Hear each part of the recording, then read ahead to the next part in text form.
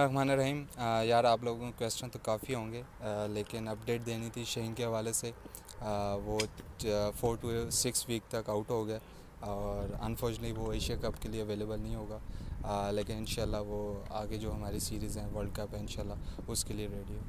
Question जी sir क्या कहेंगे कल के मैच के बारे में और शहीन के बाहर होने से कितना लॉस समझे हैं एशिया कप में?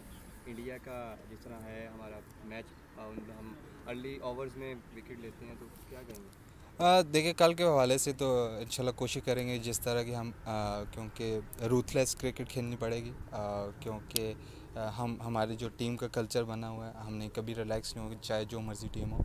और इन यंगस्टर भी होंगे, उस हिसाब से हमारी टीम बनेगी तो इन अच्छा मैच देखने को मिलेगा। दूसरा, शहीन के हवाले से नो डाउट हमारा बेस्ट बॉलर, और, अनफॉर्चुनेटली हम उसको मिस तो करेंगे, लेकिन उसके लिए दुआ गो हैं कि वो जल्दी से जल्दी फिट और टीम को ज्वाइन करें। अच्छा शराब क्या समझते हैं कि शाहीन को